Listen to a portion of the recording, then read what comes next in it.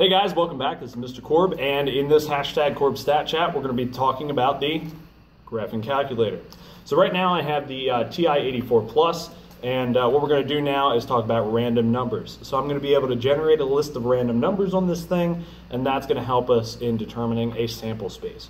So again, hopefully this is going to be helpful for you. This is just a quick tutorial, um, and instead of me doing this, or trying to show you buttons by holding it here, which is really hard to see sometimes. I'm going to switch to a screencast where I have the TI-84 graphing calculator um, program on the computer so you can see it step by step, see what buttons I'm pushing, and I'll have a tutorial listed beside it. So I'm going to switch over, and hopefully you enjoy.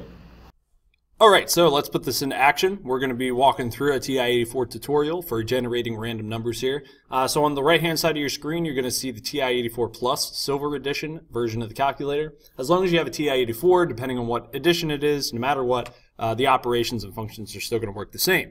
So on the left-hand side, you will see a step-by-step instructional guide, which I will post in the description of this video, uh, where you can download and check it out on your own if you want some extra practice or if you just want a record of your own. Um, we are going to be walking through step-by-step and then go through an example. So to start off, we need to know some functions of the calculator and where the buttons are. So to, to kick things off, underneath alpha, we're going to have math. So it's the third button down on the left-hand side. We're going to click on math, and that's going to be primarily where we get uh, a lot of our information from. As you can see across the top, we have a bunch of different uh, categories and then sub things that we can do. But what we want to do next is click on the left arrow is going to get us over here to probability, where we're going to be operating most of the time in this class. Once you click on PRB, we're going to click the number 5. It's a quick way to uh, pick a number on the list, especially so you don't have to keep arrowing down. You can just click 5. That'll give us our RAN int operation.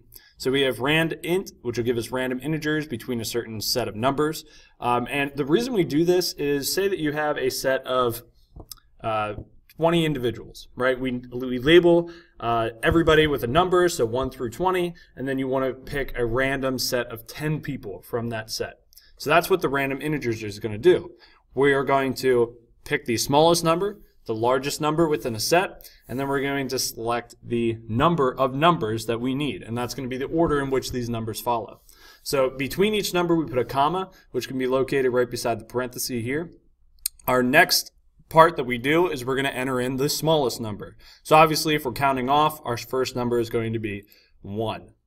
so we enter in 1, comma, then we enter in the largest number in our space that we're talking about. And that, in this case, would be 20. Okay, so we have 20 individuals in our study, so we label them 1 to 20. So we have smallest number is 1, the largest number is 20, comma, and then we want 10 random numbers from that set. So I'm going to enter in 10, end the parenthesis, and before you press enter, if you press enter, it'll just give you the set on the screen. But then once that set's on the screen, you can't really do anything with it. Um, you can't use it for to find anything else. It's just generating the random numbers, which is fine if that's all you need. But if you want to actually do stuff with it, you want to put it into a list. And those list operations, we're going to be doing in a, in a different video where we talk about uh, storing lists. We're going to talk about clearing lists, deleting lists, which is difference. And uh, again, that's going to be in another video. But one thing I do want to show you here is how to store it so you can retrieve it from a table later on. So we are going to press, before we press enter, this STO with an arrow, that's store. And that'll give you a little arrow on the screen. And then we're going to press second. And as you can see down here in these blue letterings, you have L1, L2, L3, L4, L5, L6. Those are our list operations, or I'm sorry, those are our lists that we can store to. I'm going to store it just for now into list 1, but you can really enter in any list out of these six. So we store it in list 1. So on the screen you should see ran int 1, comma 20, comma 10, arrow L1. And that's what we have here. I'm going to go ahead and press enter.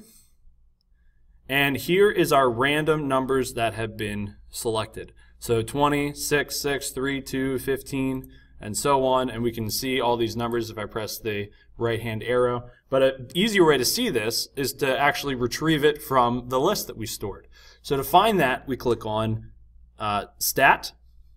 We're going to click on Edit, And that's going to take us to a table which has all of our numbers in. So as you can see, 26, 6, 3, 2, 15, 1, and so on. So it's really nice. It organized the data very nicely. Um, and uh, we can do stuff with this data later on when we start talking about what we can do with lists. We can sort them and so many other things. Uh, so hopefully this has been helpful. Um, again, I'm going to post this document in the description and uh, feel free to watch the video as many times as you want. And if you have any questions, let me know. Just remember when you enter in the RAND int, it is the smallest number, the largest number, and then the number of numbers that you want. All right, thanks guys for watching, and I will catch you next time.